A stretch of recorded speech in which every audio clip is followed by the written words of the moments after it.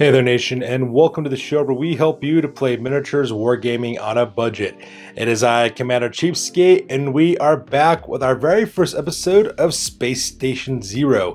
This is a Battleport series that is dedicated to the brand new uh, skirmish game created by Snarling Badger Studios. Snarling Badger Studios, of course, being uh, founded by Adam Loper as well as Vince Venturella of both Tabletop Minions as well as Warhammer Weekly fame right here on YouTube. They actually made a game previously in the past called Reign in Hell, which was a fantastic demonic skirmish battle game. And this time they made a science fiction game called Space Station Zero. It's a good combination of solo, co-op, as well as competitive play and we are going to be shooting our very first scenario with that, with our very first battle report. Now, of course, for those of you guys who are interested, I suggest you go to the uh, Wargaming Vault website or get yourself a copy of the rules set from Space Station Zero. I also have a video that will show up here in the description box below that will show you guys uh, our review of that gaming product. And as you can see, we have our table set up for our very first scenario, where I'm actually going to start off with a solo play campaign on the system is how it's going to work. My gaming buddies and I, you know, we do a lot of battle reports for me, but unfortunately my friends only have so much limited time. So to do another Space Station Zero on top of the content we're already doing is a little bit more difficult for them to do. So because that, I'm going to start off with a solo play campaign and see how that works. And of course, if my friends get interested and want to join in later on, they could uh, they could easily do so. So for my solo play campaign, uh, let's talk about my crew real quick. This crew is called Thundrik's Profiteers. It should look familiar to you guys because this is from the old world, uh, Warhammer Underworlds uh, campaign system. This is a miniatures agnostic game, so you can pretty much use whatever miniatures that you want to as well. And as you can see here, I also got some dramatic lighting going on with my battle report. Got some light kits on this one, so I'm really excited about that. So let's go and talk about what my crew consists of. So right here in the front, we have Bjorgen Thundrik. He is my commander. He's got an energy missile weapon um, as well as point-to-point teleporters, what he's equipped with as well. Oh, sorry, not tele uh, point-to-point teleporter. I'm sorry. He's equipped with a um, jump boots. What he has. That's right. That way, his ability to fly. There we go. He's also got uh, the Armored Force Edge for my groups. That way all my guys have Armor 6. He's also got the Logistics Export uh, special ability as well. In the back over here, we have Khazgan Drakkskewer. He's one of my soldiers. He's also got a heavy weapon, uh, melee weapon. He's got a point-to-point -point teleporter. He's also got Armor Force 6 for his edge, as well as a Combat Specialist rule. Right in the front is Garodd Alensen. He is my pilot. He's got an energy missile weapon, as well as a Hyper Scanner, Armored Force 6 for edge, as well as awareness. Right next on the left-hand side, that is Deadeye Lund. That is my medical officer. He's got an energy missile weapon, as well as a medibag. He's also equipped with Armor Force 6 War Edge as well as Medical Attention. And then finally, all the way in the back here, this character, his name is uh, Enrik Ironhail. He's my engineer. He's got a heavy kinetic missile weapon, armored Force 6 for his edge, as well as weapon tuning. And my crew is a four-man crew, so that way they have a little bit more, uh, actually that way they have better stats, because I wanted a really small elite group of guys. At the same time, their ship type is shipping, so that's the reason why they got some so much advanced technology, as well as some really good weaponry, because according to the crew tables, they can take whatever equipment they want to, because they are merchants. And so, just like all the other people who get stranded in Space Station Zero, Thundrik's Profiteers is planning on exploring the depths of Space Station Zero to figure out what mysteries is keeping them here and potentially how they can get back home to their homeworld. So yeah, very excited about trying out this product. I really did the review, read the rules. It looked really fantastic. So we're gonna start our very first solo play with this one, of course. And as always, we will be doing the docking bay challenge because that's the very first challenge every single crew takes when they decide to go explore Space Station Zero. So we're gonna take a quick break real quick. We'll come back here in a second, get the table set up, and then begin our very first scenario. Here we go. Docking Bay Zero is a relatively safe area within the vast darkness of the space station. Leaving it behind, you enter one of the countless docking bay access points that connect the safe zone to the wild and unexplored areas beyond. These bays are all broken down, barely lit, and full of dangers. Even the first step into the depths of the space station are not easy. So this is the very first challenge that my uh, crew will be taking upon. So Thundrik's Profiteer will need to go through the uh, docking bay access point. Of course, I do need to roll up two different challenges on this one for my obstacles and enemies. And I actually roll a 1 getting the poison gas leak challenge as well as a 10 getting ancient sentries. For the poison gas leak, it's a chemical test. It says the old and broken down pipes have started leaking potential and toxic gas into the bay. The three locations marked on the map are the sources of a poison gas leak. Each time a crew member activates, they must pass a life save with a success number equal to the number of active poison gas leaks. If they fail, they suffer damage equal to the amount of which they failed the test. The poison gas leaks can be disarmed. This requires a reaction challenge test 3, which may be made by any crew member within 1 inch of a poison gas leak. And for the second challenge, which is Ancient Sentries, Alien Technology, it says this access bay is guarded by robotic guards so ancient that they are barely functional, though they still have enough energy to threaten your crew. Set up six Ancient Sentries per crew participating in this challenge. The Ancient Sentries are set up equally divided between the two zones marked on the map. An Ancient Sentry has a life of 2, movement of 3, combat score of 3, reaction of 2, and intelligence of 1, and the Ancient Sentries are armed with Jagged Claws, which is a close combat weapon, which gives a plus one to their combat challenge. Now, in order to end this challenge, what I must do is that it ends when all enemies are defeated.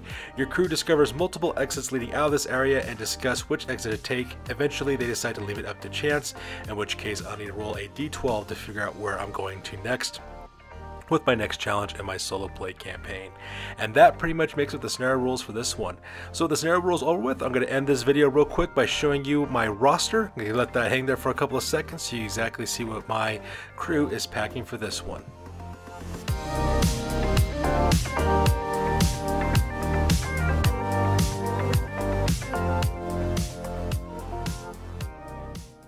All right, so we're back with our Docking Bay Zero scenario. This is the very first challenge that all crews must take when they decide to venture out directly into the depths of Space Station Zero. So as you can see, we're playing on a 2x3 Zone Mortalis table because this is a miniatures agnostic game, so we use whatever we like on this one. So the challenges I rolled up on this one is Poison Gas. So you can see I have three terminals. Terminal number one is located down here on the bottom of the screen. Terminal number two is right here next behind the step and then terminal number three, which is located over here on the top of the table. All those three table, those terminals are actually responsible for pumping out poison gas, and I have to take environmental challenges and uh, see if I succeed. If I don't, I take the same amount of damage for every single gas leak that I don't have. At the same time, I also have two uh, two groups of six sentries I got to worry about. These are old robotic sentries. As you can see, I'm using House of Ansar miniatures from Nick Necromunda to represent those three there, and the exact same thing from the other three over here. We did a conversion work on these guys, giving them silver skulls, make them look like T-800s from Terminator. So that's what I got to worry about over there as well. And my goal, of course, is to eliminate all the enemies and to succeed in all the challenges as well. And over here, of course, I have my deployment. Here is my crew, Thundrik's Profiteers. Up in the point, we have Gerard Allenson, my pilot, followed right behind him by uh, Enrik Ironhail, my engineer. Next is my medical officer, Deadeye Lund. In the back is Bjorgen Thundrik, and of course, up in the front is Khazgan Drakkskewer. So I do have my work cut out for me. I got a good mix of people, so that should help me out in order to achieve a lot of different objectives. At the same time, deal with a lot of challenges.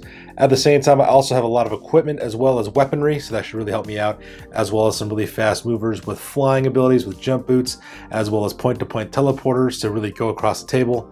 So I am liking my odds so far. So yeah, this is the tabletop established for our very first challenge of Space Station Zero. I get the initiative on this one, so I will be going first. We'll come back after my very first activation.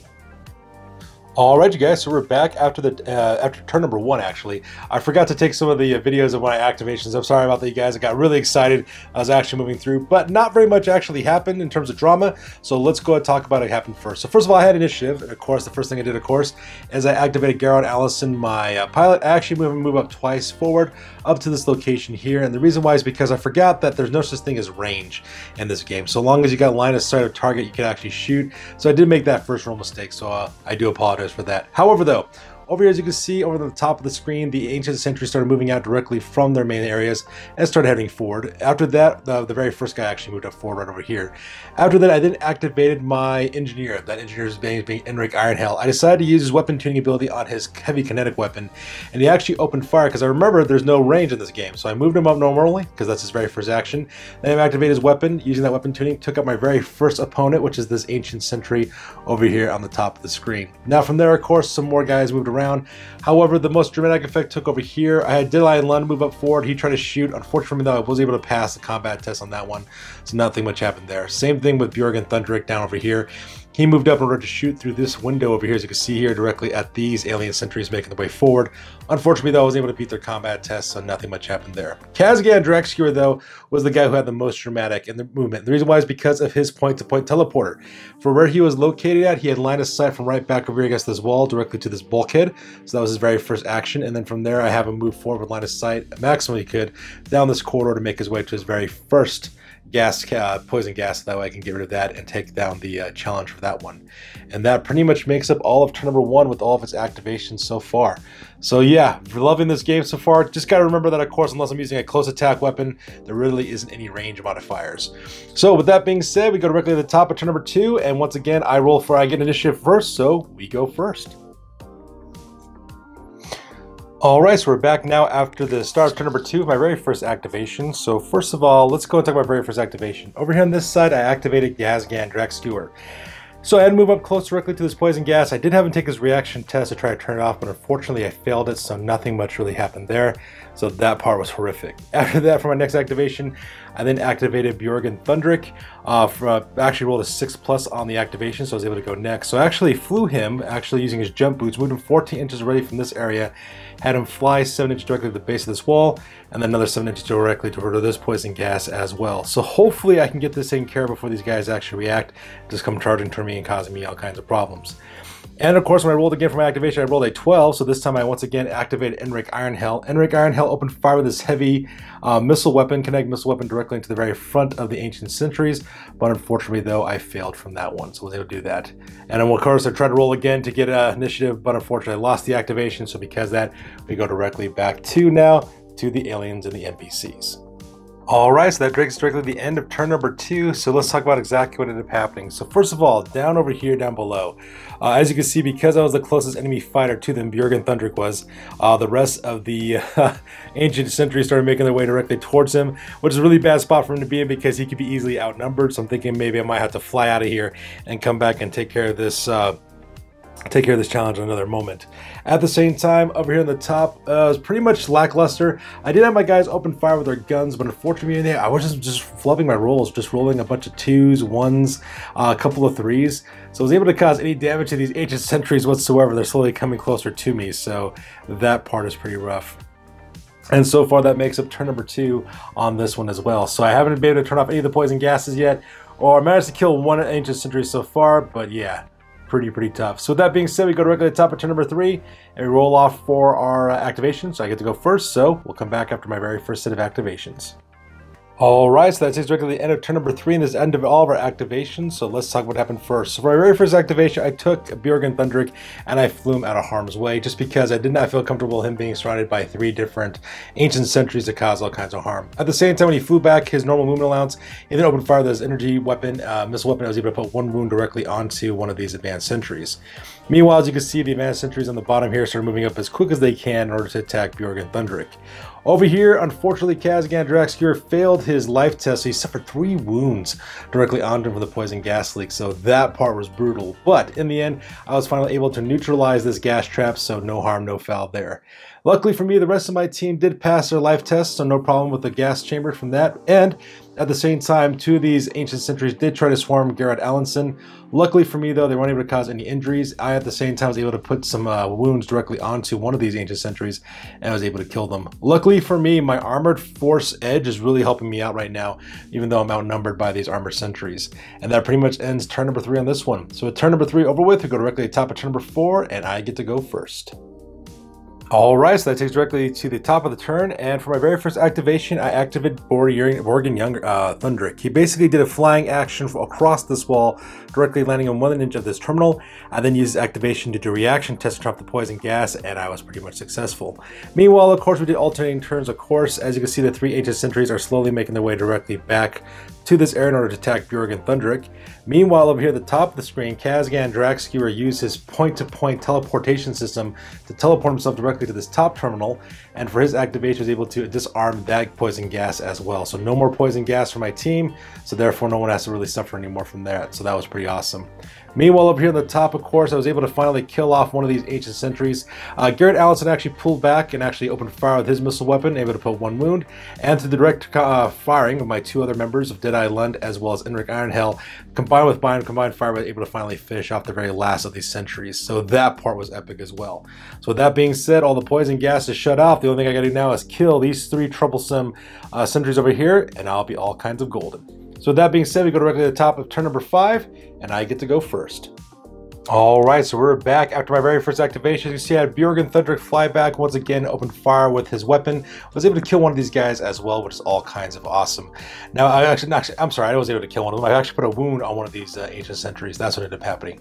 Now, of course, we did alternating turns. Ancient sentries, of course, moved their way up directly towards Bjorgen Thundrik. One of them did actually move up to this top position, but I had Kazgan Draxgear use his point-to-point -point teleporter because he had line of sight from that top top, top uh, gas tank.